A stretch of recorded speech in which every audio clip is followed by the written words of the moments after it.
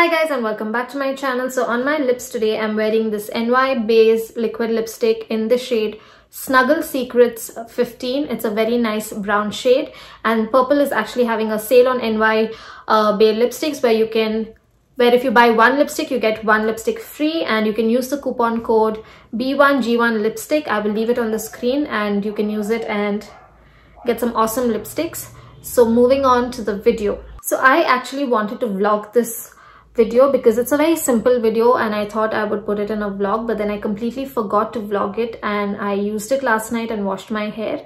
This is just few oils that I mix and I use it on my hair once a week and it has really helped me with hair fall.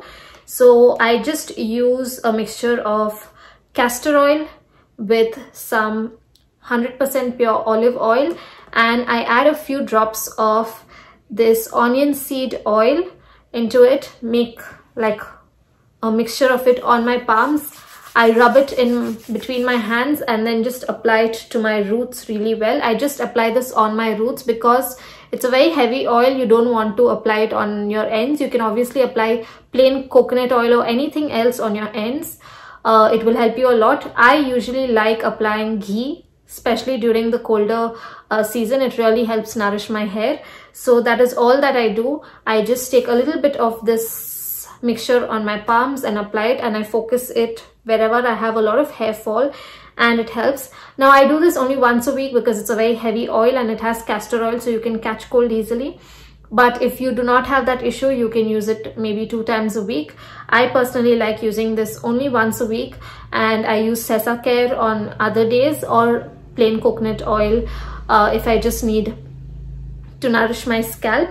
Now, if you have dandruff issues and if you have too much dandruff you can always add a little bit of neem oil in it i'll try and link uh, everything in the description box for you guys to check it out but it's very simple very easy but very effective I've always liked mixing different oils together to make like a custom oil according to my needs and apply it on my scalp. I still have hair fall but it's getting much better from how it was when I uh, just recovered from COVID. It has improved a lot. Uh, I'm trying to keep things a little simple. So I try to like just customize whatever I feel at that moment. But that's it. It's a very simple uh, video. I actually wanted to vlog it, but because I forgot it and I did this last night and I washed my hair this morning, so I did not want to um, miss out on it. I didn't want to um, not show you guys these things. Uh, I leave it overnight if you get if you catch cold very easily maybe one or two hours maximum but it is very very effective and that's why I wanted to show it to you guys I know you guys will ask me if you can use the um, olive oil that you use for cooking. I haven't tried that. I'm I use that usually for massages or sometimes just to remove my makeup. I'm not really comfortable using that on my hair.